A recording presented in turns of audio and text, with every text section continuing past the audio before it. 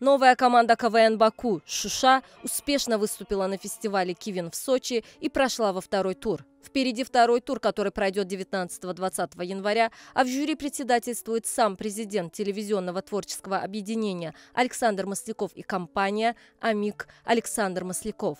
Команда «Шуша» была собрана под руководством известного продюсера Мушвига Аббасова, одного из сценаристов легендарных «Парней из Баку». Победа в региональной лиге обеспечит нашей команде с патриотическим названием участие в лиге телевизионной, которая обладает многомиллионной аудиторией.